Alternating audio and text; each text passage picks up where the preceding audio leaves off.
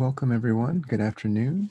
And thank you so much for joining us uh, today for the International Institute's Arts of Devotion Conference. Uh, my name is Reginald Jackson, and I'm currently director of the Center for Japanese Studies here at the University of Michigan Ann Arbor. I'm also associate professor of pre-modern Japanese literature and performance in the Department of Asian Languages and Cultures. Um, so today I have the distinct honor and pleasure of introducing our keynote speaker, Professor Duncan Ryuken Williams. Um, and I'd like to start by saying that, you know, when I was initially contacted, uh, invited to suggest speakers for this conference, the very first person uh, who came to mind was Professor Williams. Uh, insofar as the conference sought to connect traditional and contemporary contexts, uh, consider a multifaceted and multicultural notion of the concepts of art and devotion, and to reach beyond the ivory tower and engaging a broader audience, I could think of no better uh, thinker and global citizen to share their work. So Professor Williams is currently Professor of Religion and East Asian Languages and Cultures and the director of the USC uh, Shinso Ito Center for Japanese Religions and Culture um, and former chair of, the University of Southern California's School of Religion. He's previously held the Shinjo Ito's Distinguished Chair of Japanese Buddhism at UC Berkeley and also served as director of Berkeley Center for Japanese Studies for four years as well. He has also been ordained since 1993 as a Buddhist priest in the Soto Zen tradition and served as the Buddhist chaplain at Harvard University from 1994 to 1996. Professor Williams is the author of numerous um, uh, books and articles, uh, which include The Other Side of Zen, A Social History of Soto Zen Buddhism and Tokugawa, Japan on Princeton University Press from 2005, and also the editor of seven volumes, uh, including Hapa Japan, uh, Issei Buddhism in the Americas, American Buddhism, and Buddhism and Ecology from 1997. He's also translated numerous works from Japanese into English, including Putting Buddhism to Work, A New Theory of Economics and Business Management. His latest book, which I'm very excited about and enjoyed very much uh, and recommend to you all, is called American Sutra, A Story of Faith and Freedom in the Second World War on Harvard University Press from uh, 2019. This book has earned the number three spot on the LA Times bestseller list for nonfiction. And in 2011, Professor Williams received a commendation from the Japanese government for deepening the mutual understanding between the peoples of Japan and California. So needless to say, time doesn't permit me to enumerate all of Professor Williams' many achievements. However, let me just add in closing that besides being a world-renowned award-winning scholar, Professor Duncan Ryuken Williams both preaches and practices a form of socially engaged Buddhism that avoids the style of disaffected and disconnected scholarly inquiry that tends to dominate the academy.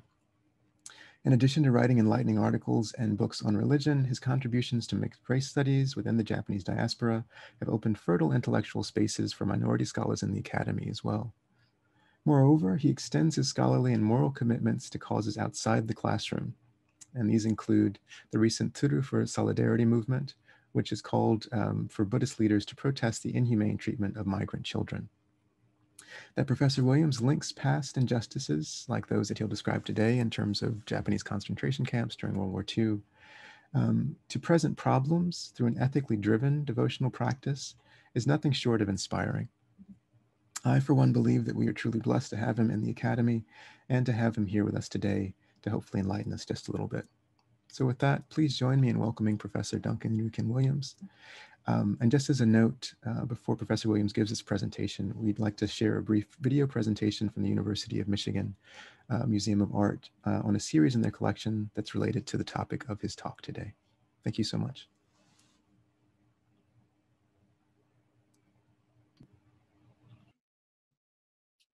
Hi, everyone. My name is Jennifer Friess. I am the Associate Curator of Photography at the University of Michigan Museum of Art. Thank you so much for having me and my colleagues here to talk to you about some of the works from our collection.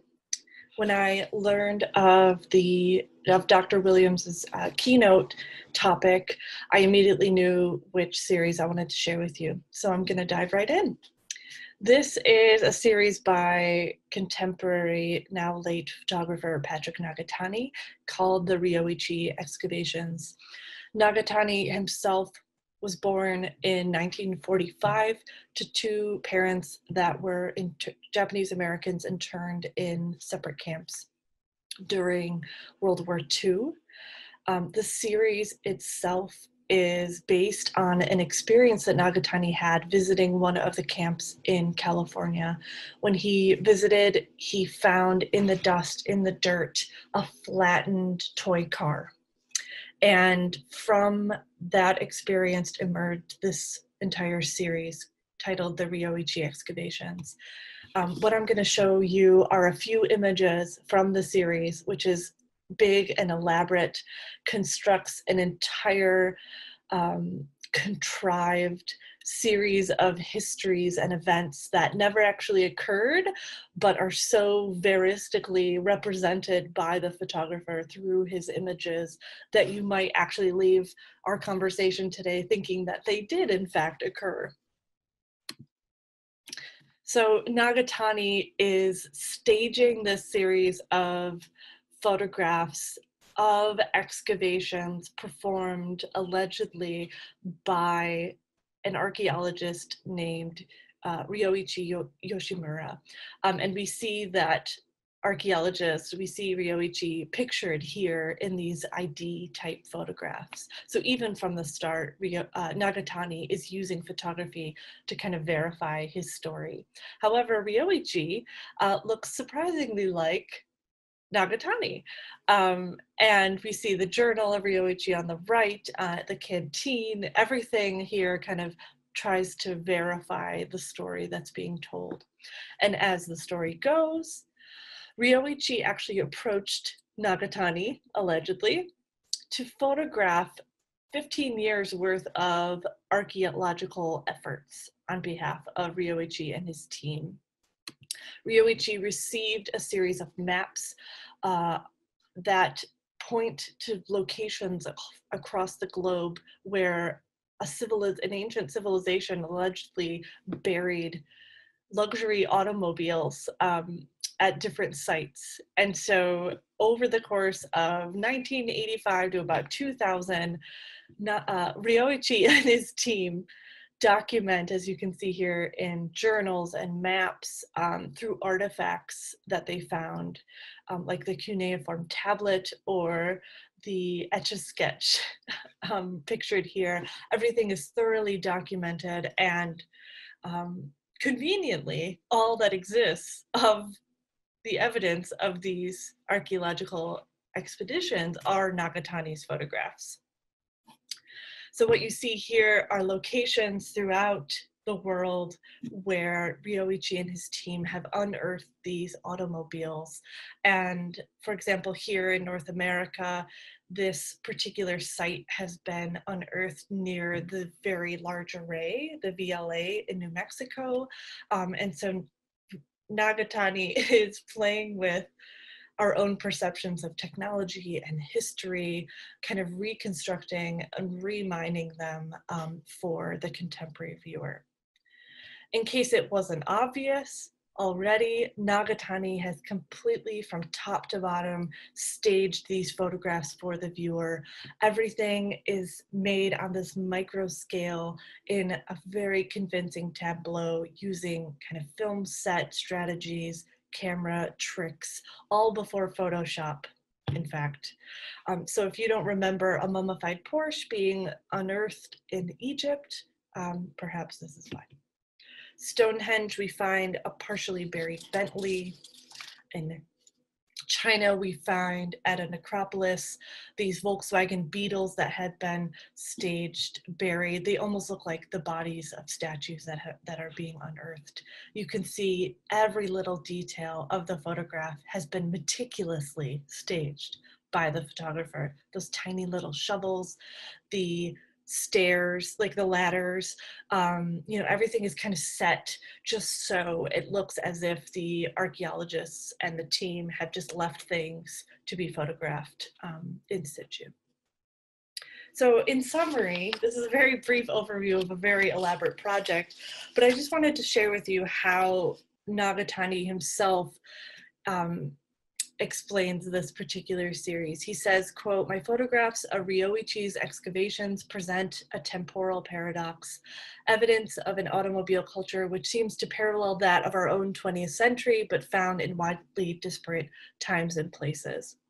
So kind of in conclusion, Nagatani's images look so realistic, so veristic, and yet the narrative doesn't align with our own perceptions of history, which of course are also constructed. Um, so Nagatani is really inviting us, the viewer, to understand and consider photography's role uh, in shaping memory and shaping history and um, the precarious relationship between photography and truth. Thank you all so much and take care.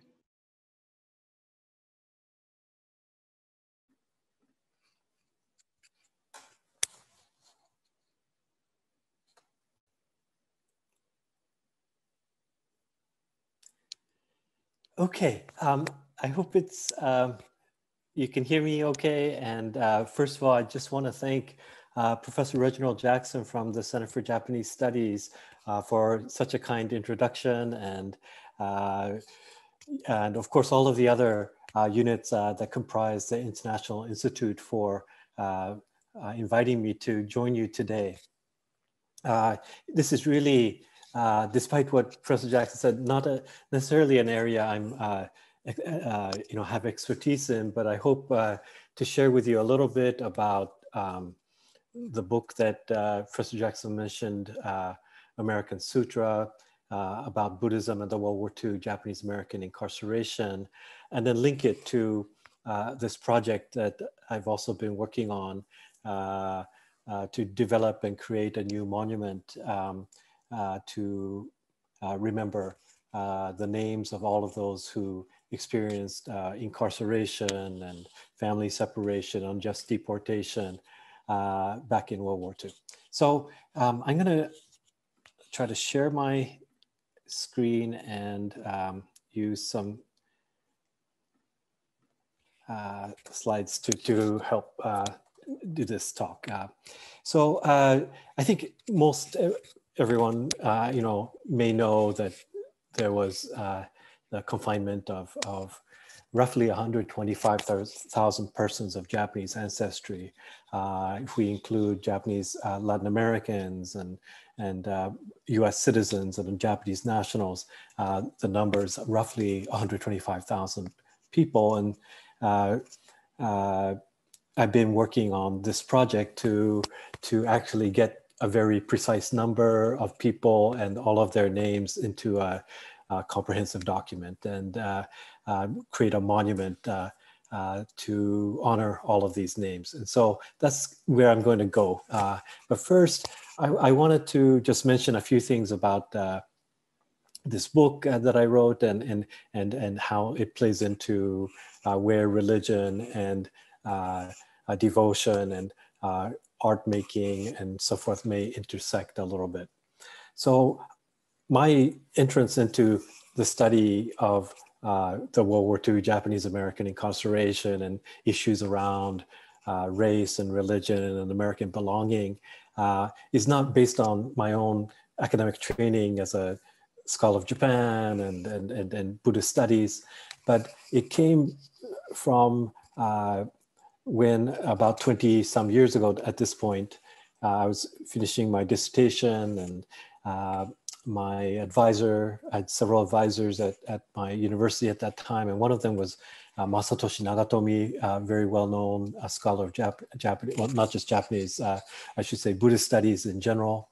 And I was, I was, uh, he, he passed away suddenly, and after I finished my dissertation and I was still around and I tried to help the family take care of some of the affairs of cleaning up his office and uh, I was also a Buddhist priest so you know uh, officiating the memorial service. And as I was doing some of these things I discovered in his documents in between like dissertation chapters uh, these yellowed pages.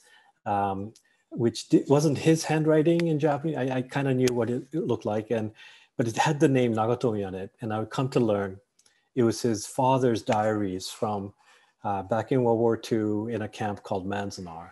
And to be honest, uh, you know, I grew up in Japan until I was 17 years old, and I had no family, you know, connection to the Japanese American uh, uh incarceration experience from World War II. And so I was so ignorant about this history. And so as I was trying to help the family, they wanted, you know, once I discovered this diary, they asked me to translate it and as a way to honor my teacher and uh, that, that family, I, I did so. And I would come across words like mesuhoru, like mess hall, and know, all these. I had to figure out what they all meant. I, I spent, I think, the next 10 years trying to study every book and article and dissertation ever written on uh, the World War II internment and incarceration. And uh, uh, over time, I translated many Buddhist priest diaries and uh, uh, correspondence from Japanese into English. And, and that became the basis of this book that I wrote. And along the way, I would come to discover that uh, we tend to think about what happened during World War II in terms of race. But in fact, uh, many people uh, uh, were targeted even prior to the war uh, for arrest and uh, kind of selected or targeted internment that had not just to do with race, but to do with religion. And for example, in this image, you see Reverend Asaida from the Liliha Shingonji Temple in Honolulu being arrested. And even before uh, the smoke had cleared at Pearl Harbor, the FBI had uh, uh, sent out teams to arrest people. And the very first person to be arrested, uh, even before, 30 minutes before martial law was declared uh, on December 7th, 1941, the very first, first person arrested was Bishop uh, Gikyo Kuchiba of the Honpa Honganji Buddhist Temple. And so I wondered, you know, why was it that Buddhist priests, like, wouldn't they go after consular officials or other people suspected of being a threat to national security or something in a time of war? Uh, the second person arrested was somebody in my sect of Buddhism from Taiheiji Temple and also in Honolulu. So I was like, why are they so fixated on arresting Buddhist priests? And I would come to learn about the decades of surveillance and uh, of temples and the making of registries by the Office of Naval Intelligence, the Army G2, and the FBI uh, that uh, had to do with this understanding that Buddhists represented uh, a group of people who were, uh, if not un American in terms of an identity that was based on a very narrow concept of a white Christian America kind of concept, but if not just un-American, like anti-American, a threat to national security. And so uh, one of the things I talk about in the book is, is, is, is this targeting of Buddhism and, and, that, and how it has um, uh, uh, a much longer history than uh, some kind of like war hysteria that happened after uh, Pearl Harbor. But this is a very planned process to target uh, a particular group of people based on not only race, but religion. And so, for example, in this arrest warrant and so forth of uh, another Buddhist priest on the Hawaiian Islands, uh, uh, Reverend Miyamoto, you can see he's been placed in what's called Group A. The FBI had these kind of different tiered and registries of people that they had made. And people who were in this Group A were those considered to be the most dangerous and those who should be interned in case of war uh, with Japan. And so those lists have been made uh, well prior to the Pearl Harbor attack, and and uh, Buddhist priests and Shinto priests, but not Christian ministers, were uh, considered as uh, particularly dangerous uh, community leaders. And this, I would come to discover, has in fact a much longer history. Um, Professor Jackson talk, uh, talk, talked about Tsuru for Solidarity. I've been involved in uh, a group that focused on racial justice and immigration rights and so forth uh, from the Japanese American community. And uh, we've been trying to uh, raise awareness about what has been happening at the border in the last several years uh, with family separation and uh, ch uh, child detention. And um, of course, the language about a group of people that's kind of like these migrant caravans invading the nation and so on. This has a very long precedent. Uh, uh, talk about building a Chinese wall, symbolically, of course, on the Pacific or an invasion, uh, come uh, in the years prior to uh, and around the time of the Chinese Exclusion Act of 1882. And the language that's often used uh, are about these heathen Chini. That's the kind of slur word that they use to indicate a racially unassimilable and religiously unacceptable uh, group of people in terms of belonging uh, in America. And this idea of the yellow peril, a kind of group overwhelming uh, a, a, land, um, in this case, you can see the Harper's Weekly thing with the, you know, Christian cross kind of illuminating a land and this kind of ominous black clouds with the Buddha in it kind of uh, approaching uh, as a kind of threat. Um, and you can see that kind of thing replicated uh, during World War II. Uh, for example, in the other image you see here of a samurai with, you know, on a militarized uh, a tank uh, with the uh, Buddha as the kind of like the front face of it. That kind of conflation of race and religion is something that not that many studies on the World War II incarceration kind of uh, uh, Uh, uh, pointed out. And so uh, just to very quickly uh, run through what I, what I think are the important points about the incarceration experience is that after that selective targeting of people that where religion mattered, of course, ultimately on the West Coast at least, there was, it's in essence, like what we might call an ethnic cleansing of the West Coast of all persons of Japanese uh, ancestry. Um, as somebody who mixed race myself, I was wondering about what about people who were like half or a fourth or, you know, some not not 100% Japanese. And I would come to learn about uh, an orphanage uh, where I am in Los Angeles, where one of the chief architects of the incarceration Colonel Karl Bendetsen was asked by the orphanage director, we have a lot of these mixed race babies and kids here. I guess, you know, at that time, California had an anti-miscegenation law that didn't allow interracial marriage. And so a lot of kids were uh, placed in orphanages. And so his reply to that about these uh, mixed, race uh, children were that uh, he said, if they have a single drop of Japanese blood in them, I want them in camp.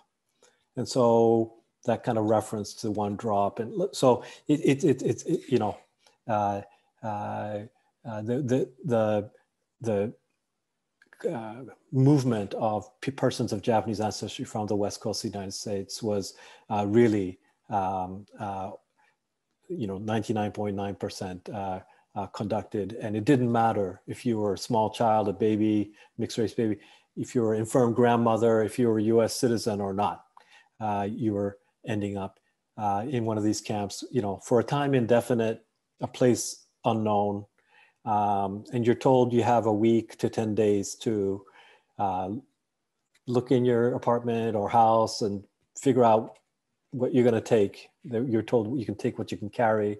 Uh, and people would end up at places like this, this is the Puyallup Assembly Center. It's kind of euphemistic terminology, uh, uh, where, where, where, where people were placed until the larger War Relocation Authority, the WRA camps, these more permanent war duration camps were being built. They were sent to horse stables and racetracks and county, you know, fairgrounds and livestock uh, centers and so forth.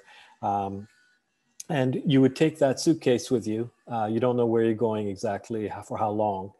And um, uh, you try to make your life uh, somewhat dignified or decent in that kind of situation of a great disruption uh, and dislocation. Um, in this case, uh, this is in Portland, it's still there, North Portland. Um, it's the um, International livestock and expo center. Uh, but back in World War II, it's converted into one of these assembly centers for people in Portland, Oregon.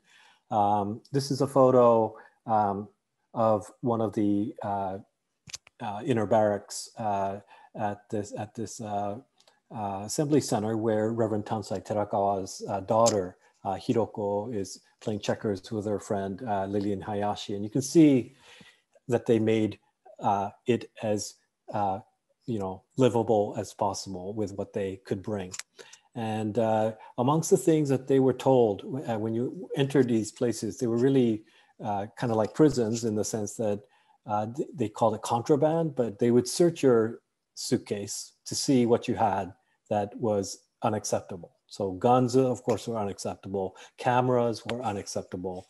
Uh, so you could get a guard to take a photo or something like that. But uh, you, you couldn't have certain kind of items. And among the things that they banned were Japanese language books.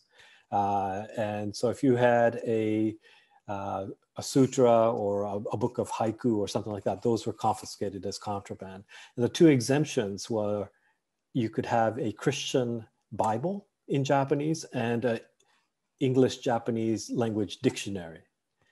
So the message that people were getting as they entered these confinement sites were that to be American, to be a loyal American, was to adhere to some kind of notion of, let's call it like Anglo Protestant normativity, like Anglo both in the sense of whiteness, but also in the sense of English only, and, and this kind of idea of being a Christian uh, was acceptable.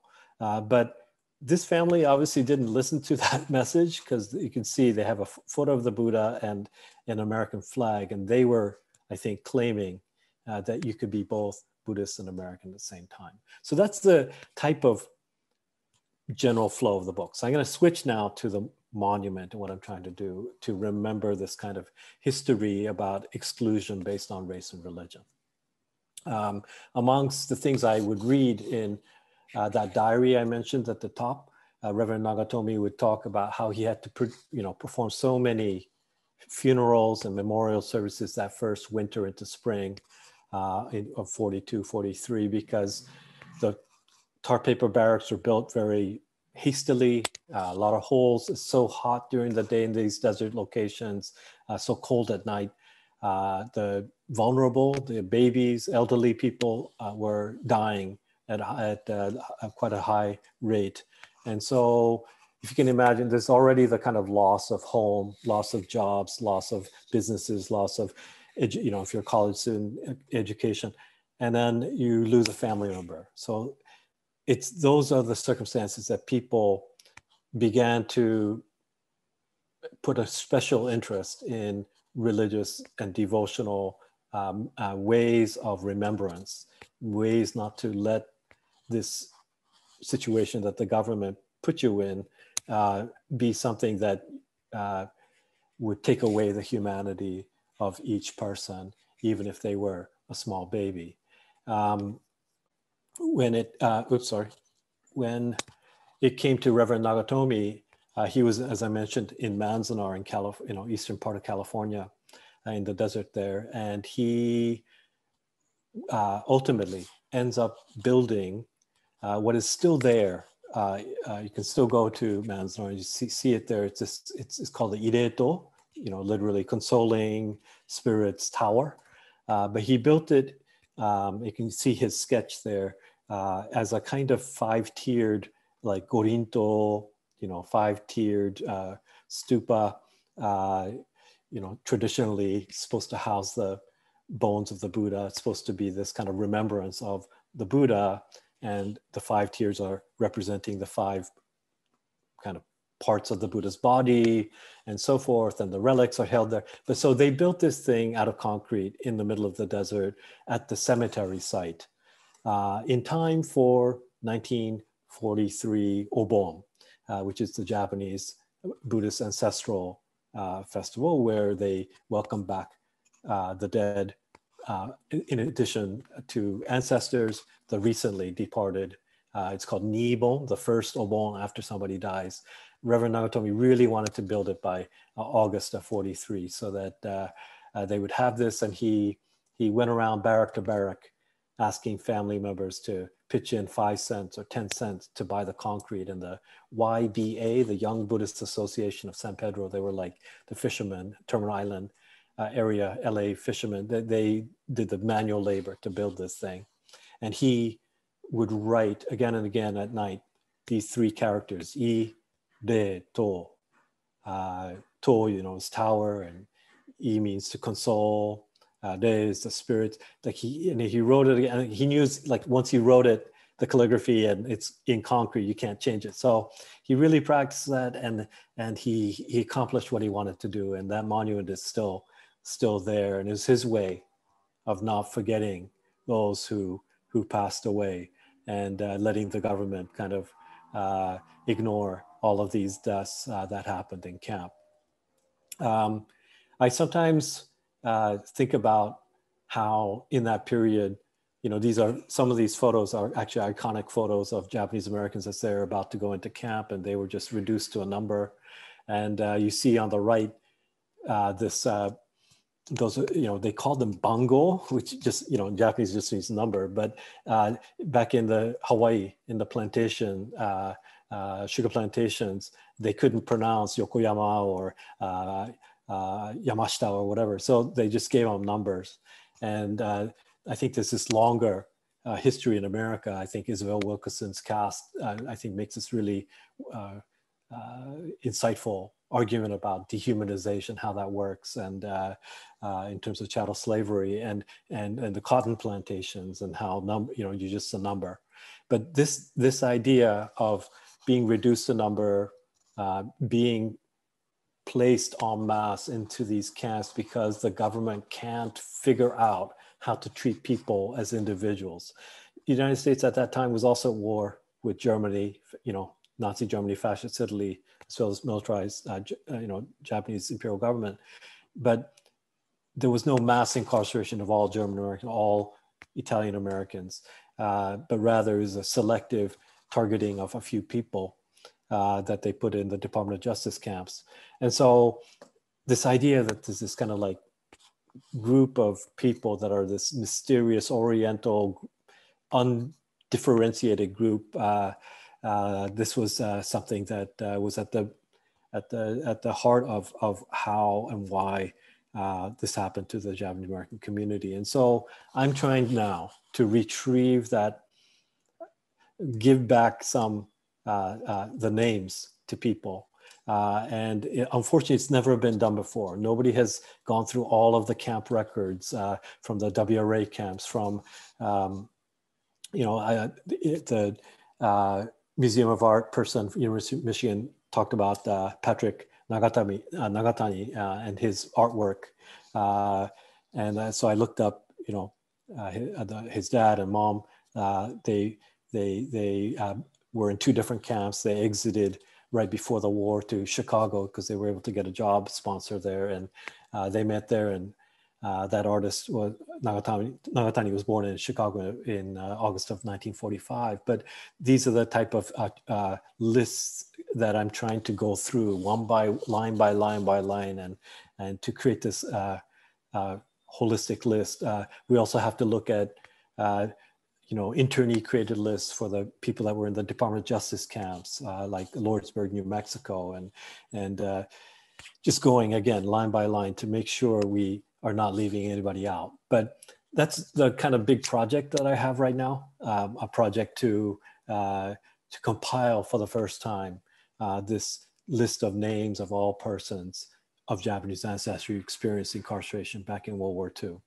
Um, this is something that uh, those who were involved in the making of uh, the National Memorial for Peace and Justice, uh, I think more colloquially well known you know, in Alabama is the lynching memorial.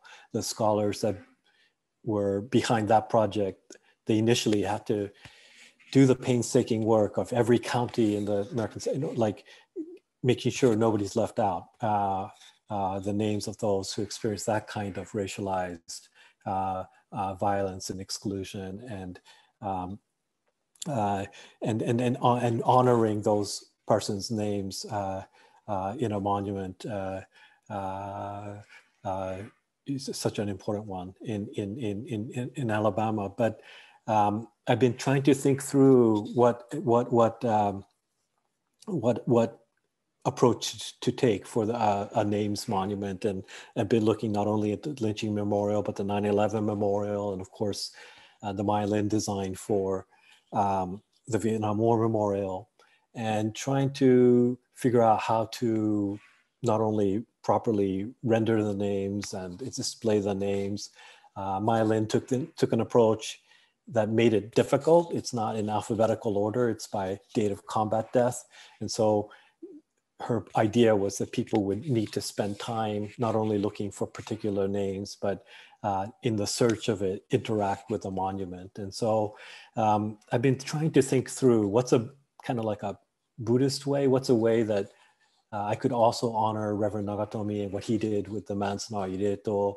Uh, what are what are some ways that are in the kind of Japanese and Japanese American and Buddhist traditions um, for creating monuments? And so, one idea uh, is I'm hoping to create this names list in three different formats, and one is in the idea of kind of a book as a monument. Uh, this is uh, instead of date of death, uh, which would be the normal way. Like as a Buddhist priest, like, you know, when we have a memorial service, we would chant a, different sutras and then dedication verse called Eko, and then we recite the names.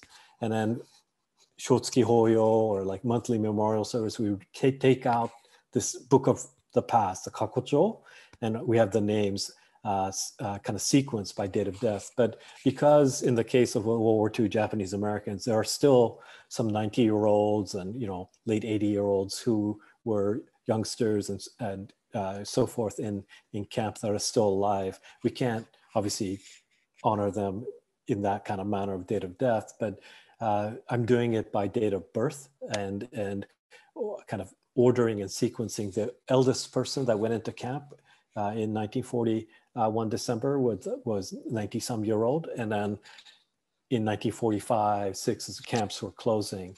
Uh, babies born are the last names on this list, but it's a kind of way of a Buddhist, I think, way of of, of honoring names that uh, makes it like Maya Lin's project a little bit harder to find, but uh, uh, a way to to to to call out these names uh, in a certain way. And uh, creating a website version of this names list where uh, one could look up the name, tap on it, find out what uh, their birth year was, uh, what camps they were in, something that you can't do in a physical book. And finally, uh, some uh, a, an actual physical installation. And that's where I'd like to end today to talk about that. And I'm inspired by uh, people like the Nishida brothers who are in Heart Mountain Camp, Wyoming, who use found wood, you know, in the desert wood. They would take uh, back back then the fruit and vegetables were at the mess halls were in these wooden crates. They would take the wood off of that, and they were master carpenters, and they crafted uh, uh, butsudan, shumidan, these kind of Buddhist altars. Uh, they would uh, others would uh, take the peach, you know, in some camps they had a ration of one piece of fruit per week. And so they would keep the peach pits to make um, uh, a kind of prayer, you know, ojuzu or prayer bead. So kind of using what you could find to, to, to, to make something uh, to, per, to be able to persist and survive and maintain something. Um, and uh, going back to Patrick uh, Nagatani, he did his own kind of photography work um, uh, at the different camps. Uh, and these are the ones his two parents were uh, in. Uh, and so uh, one is the famous, the one on the right is the famous one at Manzanar, the one that Reverend Nagatomi helped build. And the other is the one in Rohwer in Arkansas. Uh, Reverend Daitich Hayashima, another Buddhist priest, uh, helped to build that one. And it's, it's also, if you look at the base of it, it's hard to see here, but uh, there's a, a, lotus flower uh, or leaves, I should say. And it's in the, again, the traditional five tiered uh, elements uh, of the Gorinto are there. And in that case, they used to give that monument structural integrity. The, they had found barbed wire uh, the steel kind of like a rebar and use that to build this monument. And it comes from a teaching that people like uh, uh, Reverend uh, Nyogen Senzaki used to uh, con- con- continuously preach in camp, uh, which was that you need to draw on uh, what he called the, the muddy waters to let the lotus flower grow. And to show that example, my, one of my friends upon reading my book, he he he drew this. Uh, he, he's actually the abbot of Zenshuji Temple, historic Japanese American temple in Little Tokyo here in Los Angeles. But he drew this painting in which uh, the metaphor of the lotus flower, the the power of uh, awakening and and and liberation, uh, is supposed to be you know growing up out of this muddy world, the Saha world, the kind of dusty world, the world of suffering. And you can see in this kind of pond here, it kind of looks like America, but this it's growing up beyond the beyond the barbed wire. Uh, but but people like Senzaki and other Buddhist priests would preach that you know you can't grow lotus flowers in pure or sterile water. You need to grow it. It actually needs the mud, the nutrients from it to grow up. And so that's how I've been thinking also about this monument. And and uh, uh, so in terms of of material and shape, I've been thinking again to honor Reverend Hayashima in Rohwer and Reverend uh, uh Nagatomi in Manzanar uh, to make a monument that has that five tier look, but in a kind of more contemporary way. Uh, and then use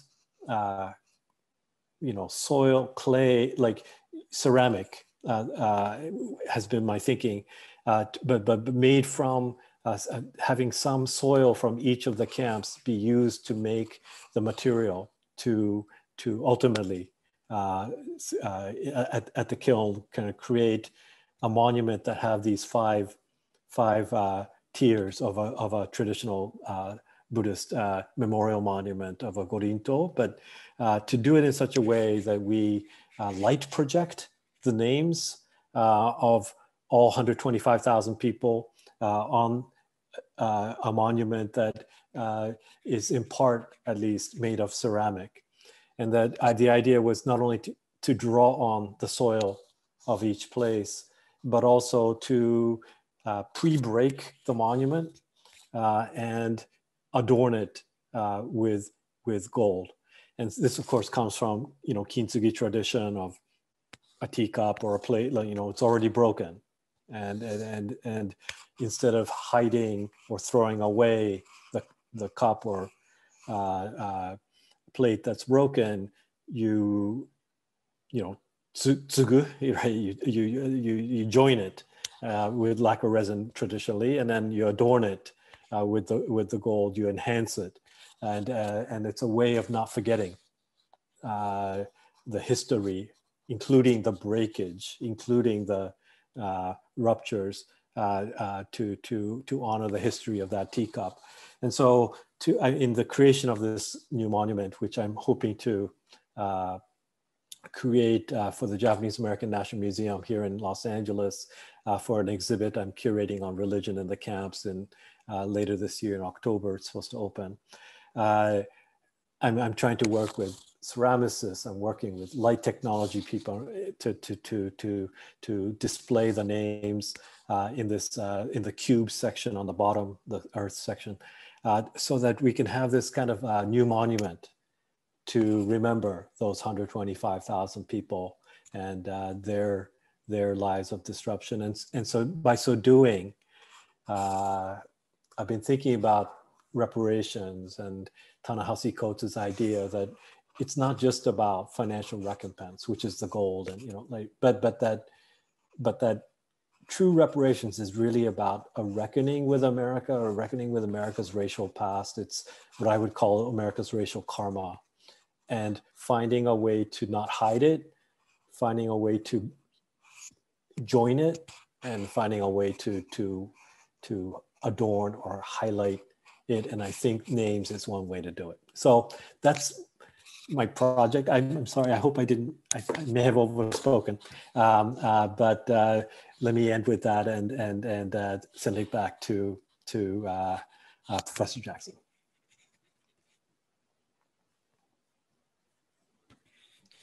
Great, thank you so much for that incredibly stimulating uh, talk, Duncan. Um, I have lots of questions.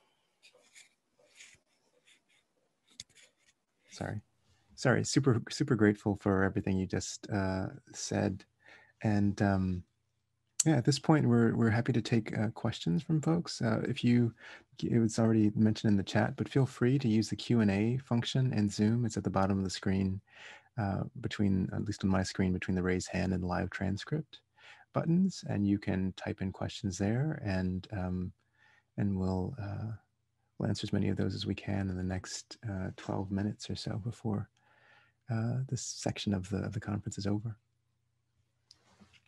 While we wait for people to uh, to do that, though, I will get us started um, since we have this since we have the, the honor of having you. Um, so thank you so much for this. I really appreciate both the the, the kind of um, and really what kind what came through, particularly when you're talking about the materiality of the of the um, of the the monument and these different uh, techniques that you're considering uh, is just kind of how um, how important uh, and and how to be it is to be thoughtful about each kind of aspect of of this. I mean, both. I mean, obviously to be respectful towards the the memories of the people who were interned, but then also, um, but to do so in a way that that um, you know stays true to the experience, um, kind of culturally um, and if not spiritually, to folks as well. So I really appreciate that. I was wondering if if um, have you, uh, um, you know, in terms of, of your kind of uh, desire to work with different artists and so forth, have you found, um, have you found that experience first of all?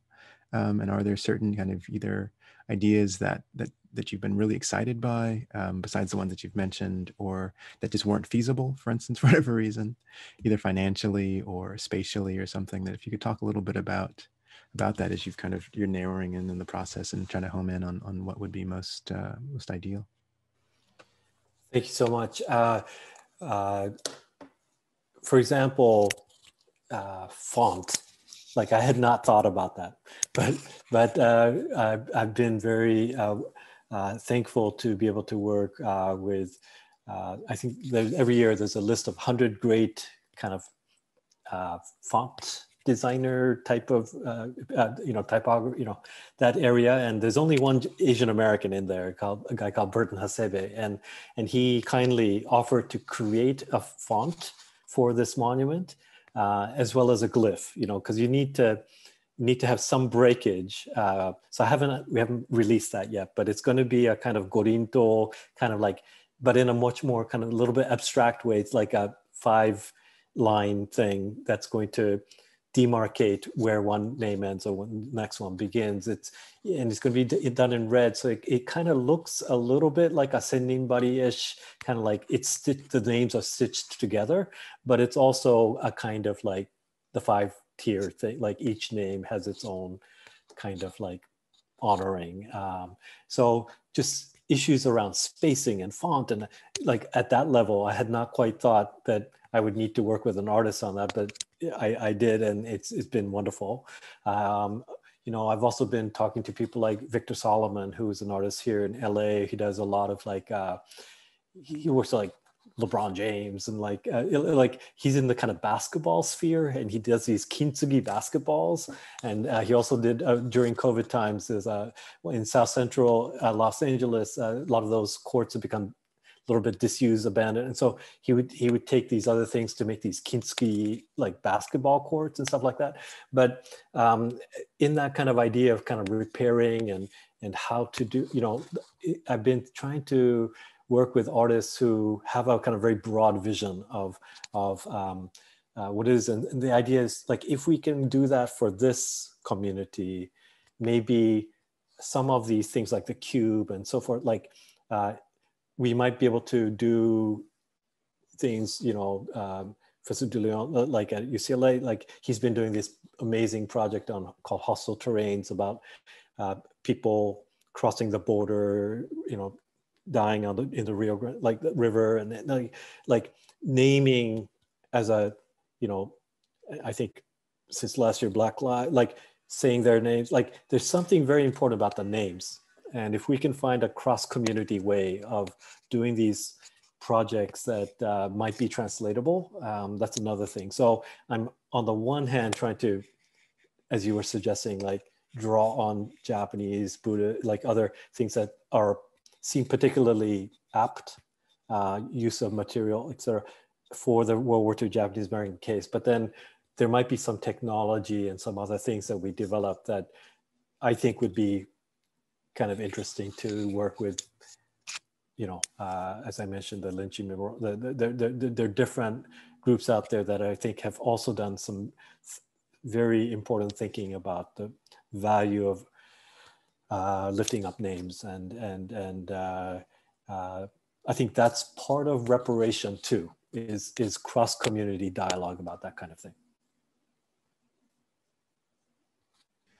Yeah, no, thank you so much for that that um, that answer. And um, I just wanted to, to mention that I think there's a, um, a mention in the chat um, that in this case, I think uh, Suzanne Davis has put in um, a, a referencing Chiura Obata um, uh, and their work. So thank you so much, uh, Suzanne, uh, for, for sharing that with the, the attendees.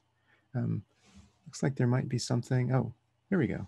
Now there are some questions in the chat. Thank you so much. So um, the first is um, is from uh, Noriko Sugimori, uh, who says, uh, I understand the important role that Reverend uh, Nagatomi played, but I also assume that people with various denominations of Buddhism went to the internment camps.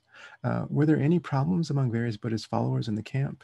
Could you discuss any of those challenges in the camp?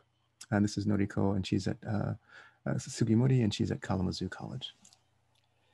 Noriko, thank you for that question. You know, one of the most interesting things was I was studying uh, camp made uh, mimeographic kind of like uh, service books as they called them um, and what did they do when uh, you know the catholics had their own space the protestants had their own space and the buddhists had one space so each camp of the large one WA camps had uh, after a while uh, even though initially there was some distrust of buddhism because rhetorically the four freedoms you know roosevelt was freedom of religion was one of the key things that the united states was supposed to be fighting for against these fascists and nazis right? So um, they they gave an equal space to the buddhists but then just like the protestants the buddhists had this problem of like if you have a Jodo Shinshu, Nichiren Shu, uh, Koya, like Shingon Shu, like,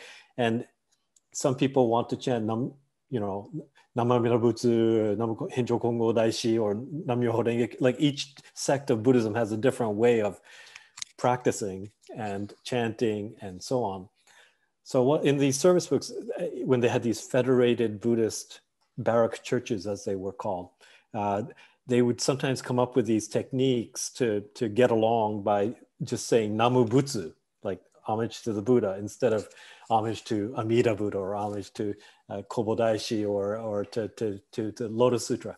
And so uh, those were some of the techniques. Uh, uh, it's not always that they everyone got along, but uh, uh, they they kind of their circumstance made them have to kind of get along, and not only between Buddhists, but going back to Reverend Nagatomi and the monument, he actually ultimately had a man named Ryozo Kado. He was famous in the LA area before the war, uh, having built some Japanese American Catholic uh, institutions.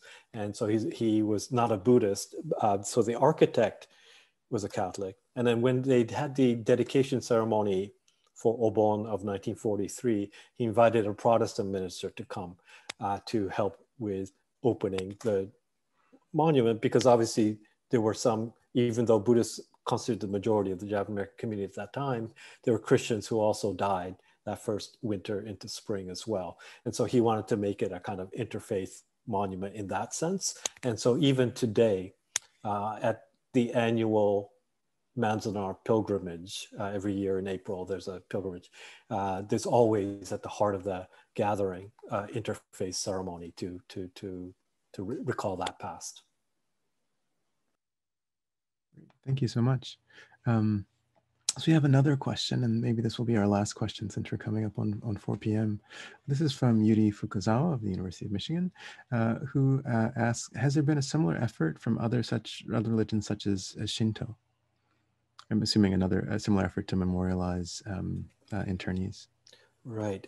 Um, I've not heard of a, similar kind of effort, although uh, uh, uh, Konkokyo, which is a you know Shinto kind of uh, uh,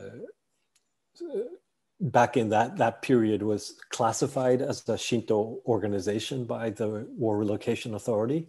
Um, they uh, Reverend uh, Tsuki, in honor of his father, he always goes to Mount as, as, and participates in the interfaith uh, service. But Shinto had a very interesting place. Uh, uh, in, in, in the camps, uh, they were, again, 100% of Shinto priests um, were arrested and put into camps run by the high security camps run by the Department of Justice.